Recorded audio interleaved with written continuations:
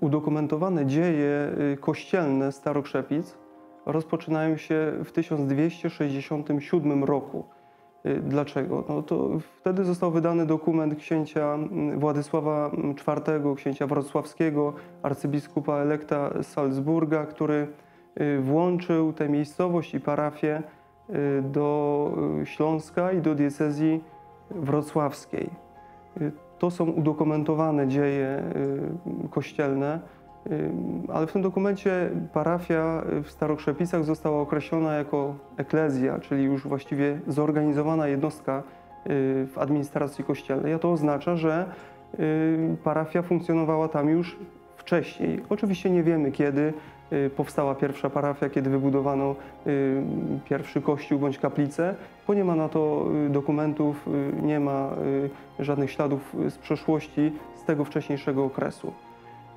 Oczywiście początków samej miejscowości trzeba by było doszukiwać się jeszcze wcześniej i było to z pewnością związane ze szlakiem handlowym, który wiódł z Krakowa do Wrocławia właśnie przez te tereny, gdzie dzisiaj znajdują się Starokrzepice.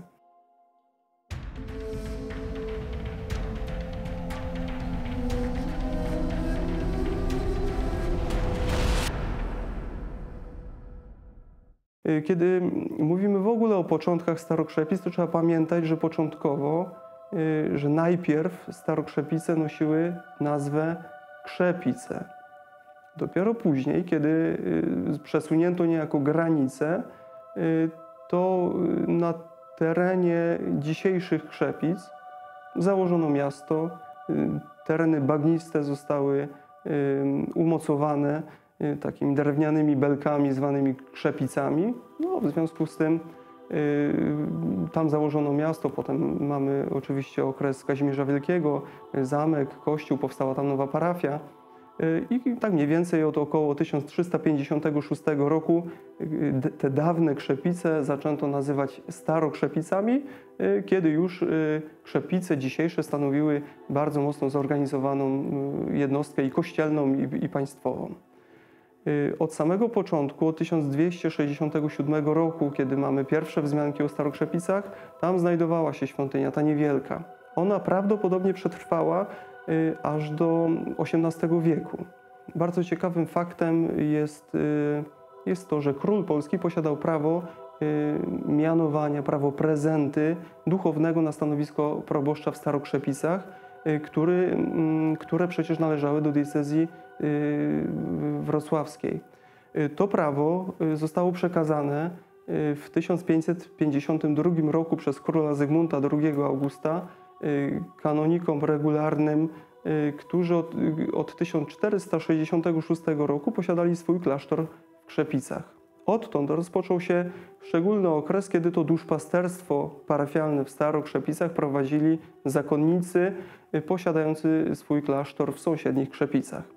Y, To był okres y, wielkiej troski o świątynię parafialną, który zaowocował tym, że w 1736 roku, y, kiedy miejscowy kościół w Starokrzepicach był już bardzo mocno zniszczony, kiedy jego rozmiary nie spełniały koniecznych wy- wymagań odpowiadających miejscowej wspólnocie parafialnej, która przecież się powiększała, podjęto decyzję o, budowę, o budowie nowego kościoła. Wcześniej, w 1735 roku, y, doszło do powołania, do erygowania Bractwa Świętej Barbary, a to ze względu na to, że y, miejscowa ludność trudniła się y, górnictwem. W związku z tym Święta Barbara jako patronka górników, patronka dobrej śmierci y, była czczona przez, y, przez tych mieszkańców. W związku z tym w nowym kościele y, zagospodarowano y, kaplicę całą y, na rzecz y, ołtarza i obrazu poświęconego y, świętej Barbarze. Y, Kiedy wybudowano nowy kościół, to w nim znajdowała się y, kaplica świętej Barbary. W związku z tym y, ona stała się też patronką y, tego nowego kościoła y, XVIII-wiecznego. Kolejny bardzo ważny y, etap, który mm, nastąpił w dziejach y, kościelnych Starokrzepic, jest związany y, z datą 12 grudnia 1809 roku, kiedy to na zamku w Ciążeniu podjęto decyzję o kasacie zakonu kanoników regularnych w Szepicach. Ten klasztor został zlikwidowany, w związku z tym duszpasterstwo w Starokrzepicach przeszło y, w cudzysłowie w ręce y, księży diecezjalnych. Y, Odtąd rozpoczął się mm, trudny okres w dziejach y, tej parafii. Y, Natomiast y, ta parafia w Starokrzepicach, która była niewielka, do której byli wysyłani y, księża y, raczej nie y, jako na prestiżowe stanowisko. Y, W związku z tym, y, że ta parafia była niewielka, nie była ona też w stanie y, we właściwy sposób utrzymać miejscowej świątyni. Kościół popadał w ruinę w ciągu kolejnych dziesięcioleci. Pod koniec lat 50. XIX wieku w Starokrzepicach proboszczem został ksiądz, któremu udało się rozpocząć remont kościoła. To był ksiądz Gabriel Krasicki.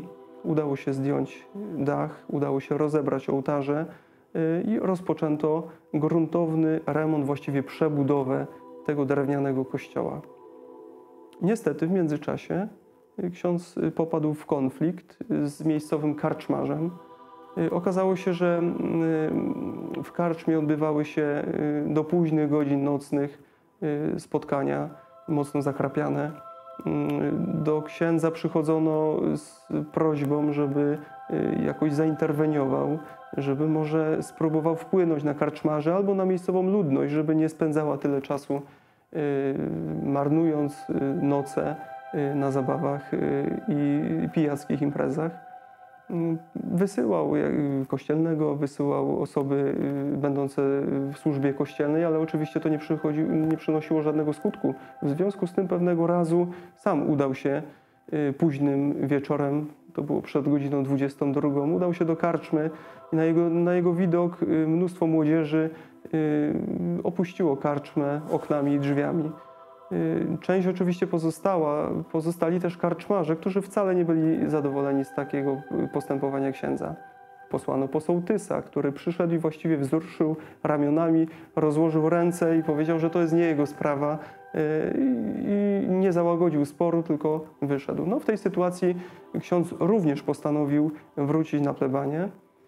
Jednak wtedy karczmarze nie byli zadowoleni z tego, że y, ich goście mm, już sobie poszli. Dlatego z wyzwiskami ruszyli za księdzem, y, no, próbując y, doprowadzić do jakiejś sprawiedliwości, może wetując sobie w ten sposób straty materialne, jakie ponieśli. W związku z tym doszło do mm, pewnych przepychanek, w wyniku których ksiądz miał uderzyć z- zostało dowie, dowiedzione właściwie, miał uderzyć kijem żonę karczmarza. To spowodowało, że mm, odniosła ona rany, które były y, potwierdzone przez lekarza y, z Wielunia, biegłego w całej sprawie sądowej, która została wytoczona. W konsekwencji ksiądz musiał opuścić parafię w Starokrzepicach. Został skazany przez władzę decyzjalną y, na pobyt w takim zakładzie karnym dla księży. Ostatecznie nie został osadzony w tym ośrodku, ale zgłosił się do wojska i wziął udział w powstaniu styczniowym, y, a później w tym powstaniu zginął. Na jego miejsce do Starokrzepic został y, przysłany kolejny ksiądz, y, Jan Rutkowski. Kiedy mm, po przybyciu do Starokrzepic udał się do kościoła, okazało się, że mm, stan świątyni był wręcz opłakany. Y, Całe wnętrze było zalane nie tylko przez y, wodę opadową, która wcześniej zaciekała do kościoła, y, ale też w wyniku tego, że przez kolejne tygodnie świątynia nie posiadała dachu. Te ołtarze, które były rozłożone na części pierwsze i poukładane wokół kościoła, zaczęły wręcz gnić i pleśnieć. Nie było właściwie żadnych funduszy parafialnych, które pozwalałyby rozpoczęcie y, właściwie od nowa remontu, y, który już wtedy był przecież bar- bardzo kosztowny, bardziej niż y, w tym czasie, kiedy rozpoczynał go ksiądz Krasicki. W związku z tym właściwie załamany udał się na plebanie y, z zamiarem poproszenia biskupa y, o zabranie go z tej parafii. Ale wtedy doszło do niespodziewanego zwrotu w dziejach religijności mieszkańców. Wtedy miejscowa ludność zebrała się, otoczyła plebanię i zaczęła prosić proboszcza, żeby ich nie opuszczał. Mieszkańcy zadeklarowali, że postarają się pomóc, na ile to będzie możliwe, i finansowo, i, i pracą fizyczną, żeby wyremontować kościół. Było to zadanie bardzo trudne, ale ksiądz Rutkowski się go podjął. W konsekwencji udało się rzeczywiście przeprowadzić konieczny remont tej dawnej świątyni i przywrócić jej dawny blask. W tym samym czasie, w tym okresie już od drugiej połowy XIX wieku w Starokrzepicach rozpoczęto świętowanie kolejnego dodatkowego odpustu, bo przecież kościół, kościół a właściwie kościoły poprzedniej parafia nosiły tytuł i wezwanie wszystkich świętych. Y, ten kościół drewniany po remoncie również y, posiadał wezwanie wszystkich świętych. Natomiast y, poza odpustem wszystkich świętych, poza odpustem świętej Barbary, rozpoczęto również świętowanie w tej parafii odpustu przemienienia pańskiego, a to w związku z obrazem przemienienia pańskiego, jaki został sprowadzony do Starokrzepic. Wydaje mi się, że decyzja, decyzja proboszcza o sprowadzeniu właśnie takiego obrazu do, tej, do tego kościoła, do tej parafii była związana y, z przemianą, y, jaka dokonała się y, w zachowaniu ludzi, w ich postawie odnośnie do życia religijnego, odnośnie do spraw związanych z kościołem, z parafią, z Panem Bogiem. Zaledwie po czterech latach, kiedy ksiądz Pogorzelski opuścił Starokrzepica, jego następcą został ksiądz Jan Patorski w 1904 roku, doszło do kolejnego przełomowego wydarzenia w dziejach tej parafii.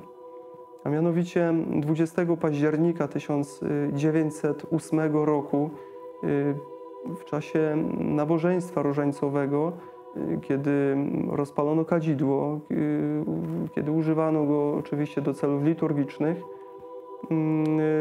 doszło do pewnego zaniedbania Y, ministrant y, powiesił te y, kadzielnice z żarzącym się płomieniem wewnątrz. Na tej kadzielnicy, gdzieś tam na haku, powiesił komrze. Organista, który zamykał kościół, nie zauważył, że, że w ogóle nie zauważył tej kadzielnicy, nie wiedział, że, że, że tam jest ogień. Pośpiesznie po skończonym nabożeństwie udał się do pracy dalszej. Natomiast y, niestety kościół spłonął i to właściwie doszczętnie. Zachowała się tylko wolno stojąca dzwonnica z trzema dzwonami, natomiast y, całe wnętrze świątyni y, spłonęło. W ciągu kilku dni mieszkańcy zebrali się w celu podjęcia decyzji co do dalszych losów tej parafii, co do dalszych losów ich właściwie religijności. Y, wtedy mm, zdecydowano się y, wznieść nowy kościół. Wkrótce po pożarze kościoła y, mieszkańcy całej parafii, bo to przecież nie tylko mieszkańcy Starokrzepic, ale także Dankowic, Piasków, Podłęża Królewskiego, Kostrzyny, Kotar, Jawora, który właściwie stanowi część dzisiejszych Starokrzepic, podjęli kolegialnie decyzję o tym, że należy wybudować nowy kościół, tym razem murowany. Ostatecznie, y, kiedy udało się zapewnić finansowanie y, budowy nowego kościoła, y, należało znaleźć kogoś, kto zaprojektuje świątynię odpowiadającą mm, potrzebom miejscowej wspólnoty parafialnej, która przecież była już znacznie większa do tego zadania wybrano mm, Wiesława Kononowicza, projektanta y, kościołów z Warszawy, y, który ściśle rzecz biorąc nie był y, architektem, ponieważ nie posiadał specjalistycznego wykształcenia. Jednak ukończył szkołę średnią o profilu architektoniczno-budowlanym pod okiem znanego architekta Stefana Schillera, który mm, był znany nie tylko w Polsce, ale i w Europie, y, który wyjeżdżał za granicę, y, który miał na swoim koncie wiele różnych ciekawych realizacji architektonicznych. Zgodnie z ówczesnym prawodawstwem y, w każdym powiecie znajdował się y, inżynier, architekt, który miał y, za zadanie mm, dopuszczać y, projekty do y, realizacji.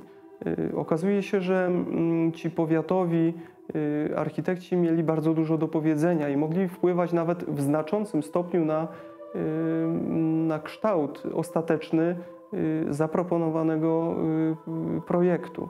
Tak też się stało w Starokrzepicach. W związku z tym zarówno Wiesław Kononowicz wspominał po latach w swoim życiorysie, że zaprojektował kościół w Starokrzepicach, jak i inżynier, architekt powiatowy z Częstochowy y, Leon Mońkowski. On również y, z- twierdził, że y, kościół w Starokrzepicach jest jego autorstwa.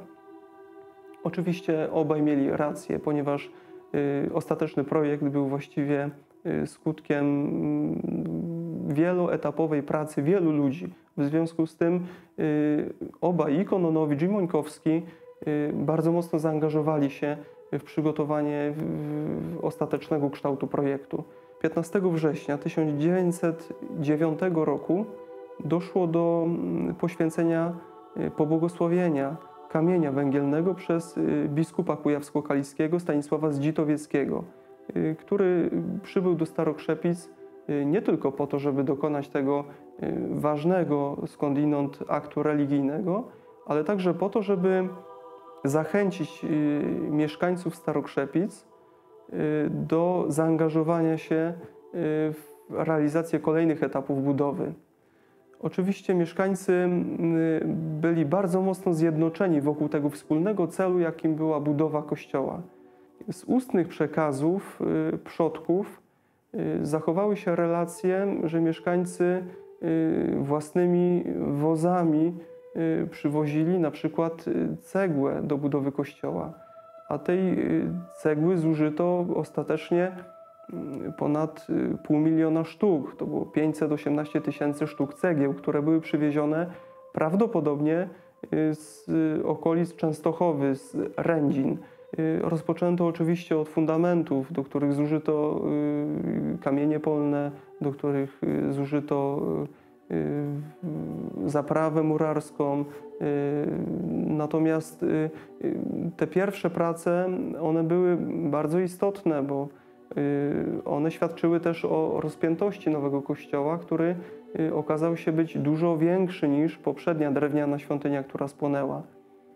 Y, Ostatecznie zdecydowano się y, zorientować y, y, świątynię odwrotnie niż, y, y, niż było w przypadku poprzedniego kościoła. Y, Dzisiaj kościół po stronie zachodniej ma ołtarz, natomiast kościół drewniany posiadał ołtarz główny po stronie, po stronie tej wschodniej. Dlatego odwrócono układ tej świątyni. Natomiast y, murowany kościół został wzniesiony na miejscu, y, na tym samym miejscu, na miejscu dawnego spalonego kościoła. Warto zaznaczyć, że aktualny kościół w Starokrzepicach y, ma zaledwie 110 lat i jest to stosunkowo niewiele y, w odniesieniu do y, wielowiekowych, y, bogatych dziejów y, kościelnych Starokrzepic. W 1912 roku y, udało się zwieńczyć budowę kościoła, y, zakończyć te wszystkie podstawowe etapy, y, które były przewidziane w projekcie. Y, Powstała świątynia y, o niejednolitym stylu, jednak posiadająca wiele cech neoromańskich. Można je zauważyć, y, kiedy się spogląda na, czy to na fasadę kościoła, y, czy to na mm, te półokrągłe mm, okna y, w tej świątyni, y, czy to na balustradę chóru muzycznego. W 1912 roku zakończono budowę i dokonano mm, wstępnego y, pobłogosławienia świątyni y, w odpust y, przemienienia pańskiego 6 sierpnia 1912 roku. Y, Takiego wstępnego poświęcenia kościoła dokonał miejscowy proboszcz ksiądz y, Jan Patorski, y, którego mm, staraniem y, kościół był wznoszony. y, przy oczywiście bardzo dużym zaangażowaniu miejscowej ludności. Centralne uroczystości związane z ostatecznym oddaniem świątyni na własność Panu Bogu odbyły się w kolejnym roku, dokładnie 16 maja y, 1913 roku, kiedy to biskup y, Stanisław Zdzitowiecki przybył ponownie do Starokrzepic y, i dokonał poświęcenia y, kościoła. Warto dodać, że w tym dniu po południu biskup udzielił bierzmowania mm, grupie prawie półtora tysiąca młodych ludzi. Oczywiście byli to również y, parafianie y, okolicznych miejscowości. Natomiast pokazuje to, jak wielkim wydarzeniem było wówczas poświęcenie kościoła w regionie. Mm, Z tej okazji do Starokrzepic przybyło kilka pielgrzymek. Od tego momentu, od 1913 roku, y, kościół y, był używany do, wyłącznie do celów kultu religijnego, natomiast należało jeszcze y, zapewnić jego wykończenie, należało jeszcze go odpowiednio wyposażyć. W źródłach podano, że mm, kościół, który miał początkowo kosztować około 29 tysięcy rubli, ostatecznie y, pochłonął y, ponad 40 tysięcy rubli. No i dodatkowo oczywiście mm, wielki nakład pracy fizycznej mieszkańców. W kolejnych y, latach okresu międzywojennego podjęto kolejne kroki w kierunku wyposażenia świątyni i, i wykończenia wnętrza. To właśnie z tego okresu pochodzą dwa ołtarze boczne, które znajdują się w kościele. Pierwszy, ten główny ołtarz, y, był poświęcony y, w tym samym czasie, kiedy mm, została poświęcona cała świątynia. Dlatego on już był obecny w kościele w 1913 roku. Ym, Możliwości finansowe y, parafian y, pozwoliły na zamówienie i zainstalowanie ołtarza poświęconego przede wszystkim Matce Bożej dopiero w 1921 roku. Natomiast y, ołtarz poświęcony Najświętszemu Sercu Jezusowemu y, zamontowano w kościele w 1927 roku. W okresie dwudziestolecia międzywojennego udało się wyposażyć kościół y, staraniem kolejnego proboszcza, księdza Franciszka Bieniasiewicza. Y, To okres dwudziestolecia międzywojennego to bardzo ważny czas, y, kiedy skończyły się zabory, kiedy można było swobodnie praktykować wiarę katolicką, kiedy można było się organizować w stowarzyszenia katolickie. I to oczywiście wpłynęło y, na to, że ludzie bardzo chętnie się angażowali religijnie przy parafiach. To był czas, kiedy powstawała Liga, a potem Akcja Katolicka, kiedy mm, ludzie wierzący y, starali się wpływać na y, rzeczywistość społeczną. Y, Dzięki mm, temu udało się nie tylko dokonać wiele w zakresie spraw materialnych, ale również udało się y, kontynuować y, działalność dawnych bractw religijnych, w tym Bractwa Świętej Barbary, ale założyć także nowe y, stowarzyszenia, organizacje o charakterze katolickim, jak chociażby Trzeci Zakon Świętego Franciszka z Asyżu, jak y, stowarzyszenia właśnie akcji katolickiej. Powstały wtedy stowarzyszenia młodzieżowe, stowarzyszenia kobiet, mężczyzn, y, również w Starokrzepicach, ale to były tendencje mm, ogólnopolskie. Ważnym wydarzeniem o charakterze y, religijnym po odzyskaniu przez Polskę niepodległości w 1918 roku były mm, misje parafialne zorganizowane y, w Starokrzepicach w 1920 roku, a poprowadzili je ojcowie redemptoryści y, w- maju, w dniach od 1 do 7 maja. Y, Te misje cieszyły się dużą frekwencją wiernych, którzy wykorzystali ten czas na odnowę religijną. Trudny okres w dziejach parafii w Starokrzepicach był związany z wybuchem i przebiegiem y, najpierw pierwszej, a potem drugiej wojny światowej. Mm, Ta ostatnia oczywiście y, wpłynęła również na y, życie religijne wiernych, choć Kościół w Starokrzepicach funkcjonował. Y, Inaczej y, natomiast działo się y, na y, sąsiednich terenach w okolicach Wielunia, który był bardzo mocno doświadczony y, przebiegiem II wojny światowej. Y, Tam y, życie religijne praktycznie zamarło. Y, Kilkudziesięciu księży wywieziono do obozów koncentracyjnych. Ostatecznie osadzono w Dachau. Około 30 z nich zginęło w tych obozach. Natomiast w Starokrzepicach życie parafialne, choć w zmienionych warunkach, jednak mogło być dalej kontynuowane. Y, W tym okresie mm, Kościół, mimo że mm, nie poniósł wielkich strat materialnych, y, to jednak y, został pozbawiony dzwonów, które mm, zostały zarekwirowane i przeznaczone na cele wojskowe. W tym okresie również wywieziono księgi parafialne, które jednak po zakończeniu działań wojennych powróciły do Starokrzepic. Natomiast ponownie rozkwit życia religijnego y, nastąpił po zakończeniu II wojny światowej, dzięki również zaangażowaniu bardzo gorliwego kapłana księdza Edwarda Stasiewicza. Mimo biedy po zakończeniu II wojny światowej, y, miejscowa ludność y, bardzo mocno angażowała się i w przeprowadzenie koniecznych remontów kościoła, w modernizację prezbiterium, w zakupienie witeraży znajdujących się w prezbiterium, y, zakupienie mm, y, balustrady, przy której wierni przyjmowali komunię świętą, nowej chrzcielnicy. Y, Właściwie całe prezbiterium zostało zmodernizowane, wyłożone marmurowymi płytami.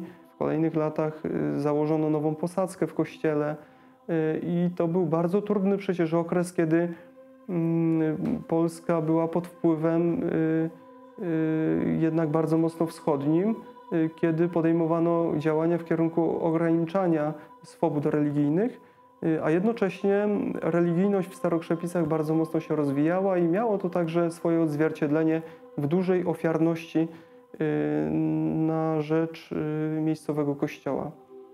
W kolejnych dekadach, staraniu kolejnych proboszczów y, podejmowano kolejne prace modernizacyjne, remontowe, naprawcze, y, które pozwoliły utrzymać Kościół y, w należytym stanie.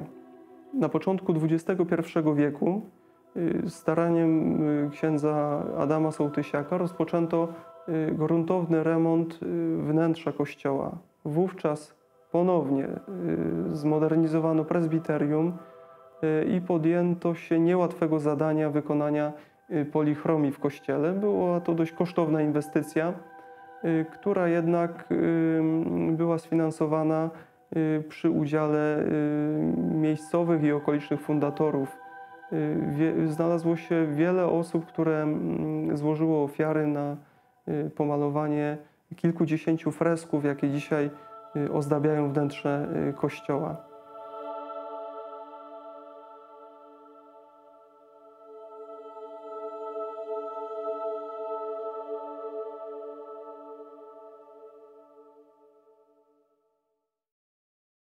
W XXI wieku, y, kiedy spada liczba y, osób uczęszczających na nabożeństwa do kościoła, pojawiają się coraz to nowe y, trudności z utrzymaniem całej infrastruktury parafialnej, która obejmuje przecież nie tylko kościół, nie tylko troskę o stan cmentarza parafialnego, nie tylko dom parafialny, ale także duży budynek, w którym mieści się plebania, który przecież nie został y, do tej pory wykończony.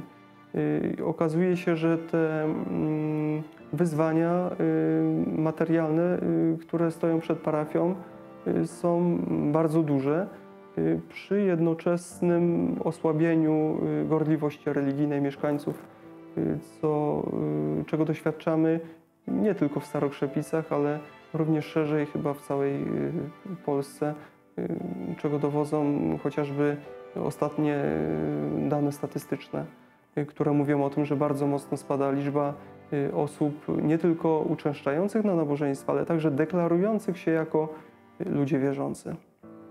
Y, Kościół w Starokrzepicach, który mm, przez y, kolejne dziesięciolecia mm, od jego ukończenia y, stanowił centrum y, nie tylko religijne, ale y, chyba również społeczne y, Starokrzepic i okolicy, jest y, bardzo ważnym świadectwem i znakiem zaangażowania religijnego całych pokoleń przodków, którzy najpierw trudzili się, żeby wznieść tę świątynię, y, a potem ym, starali się utrzymywać go w należytym stanie.